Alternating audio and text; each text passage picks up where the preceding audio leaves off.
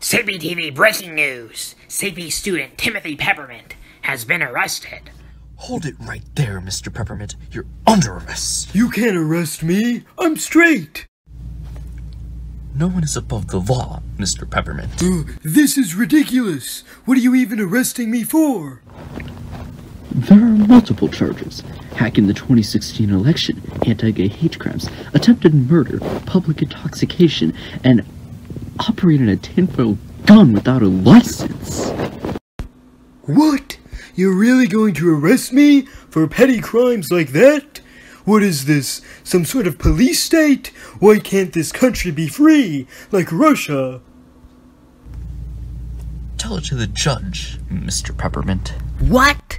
Tim got arrested? Mr. Renault, we've got to save him. Don't worry. I know just what to do. Hello, Donald Trump?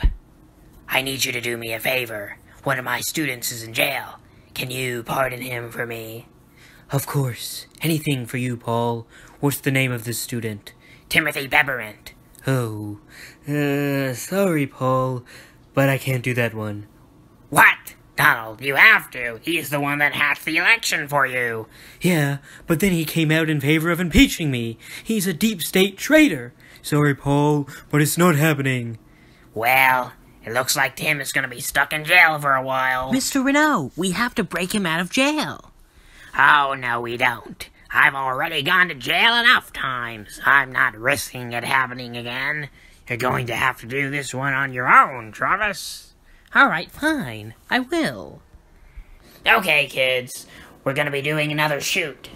Oh, I'm gonna save, I'm gonna save, I'm gonna save Timothy Peppermint.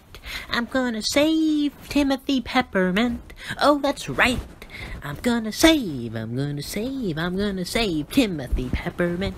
I'm gonna save my favorite Russian. I'm gonna save Timothy Peppermint. I'm gonna save Timothy Peppermint. Hey, what do you think you're doing, sir? Uh oh. Mr. Penile, meet your cellmate. Tim? What? No! No! Officer, can't you give me someone else? Anyone else? Sorry, Mr. Peppermint. All decisions are final. How exciting! We're like roomies. Uh, this would never happen in Russia.